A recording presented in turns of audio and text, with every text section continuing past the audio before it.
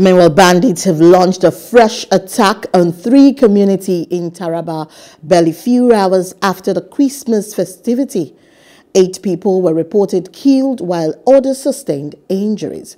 The member representing Ussa State who disclosed these raised concerns over the unabated killing of members of his constituency. He called on federal government to deploy troops to the troubled area before the bandits wipe out the affected farming community. It is disheartening to see that despite the overwhelming revelation in the manner and ways the bandits carry out their activities in Ussa State constituency, no conscious effort from the security agents is made to ensure their men and officers are immediately drafted to the trouble areas. I consciously emphasize in the, in the press conference I made recently that the bandits have their inroad from Sufa through Achanyim to Pambopuri via Pambo uh, area. I thought the security agents would have leveraged on these tips in deploying their men and officers to the restive area so to prevent further attacks by these blood-sucking demons.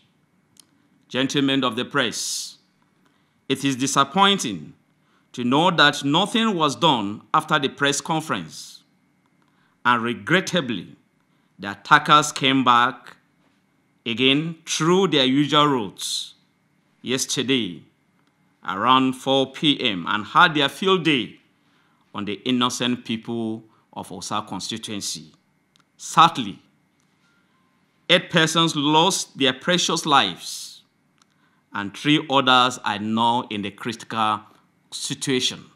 That there should be a constant uh, security patrol team that should be patrol, uh, patrolling Kwambo, Fikiu, uh, Yashi, and Kwambo Puri on, along that axis.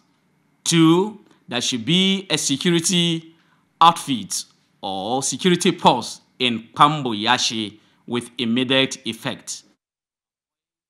Hello, hope you enjoyed the news. Please do subscribe to our YouTube channel and don't forget to hit the notification button so you get notified about fresh news updates.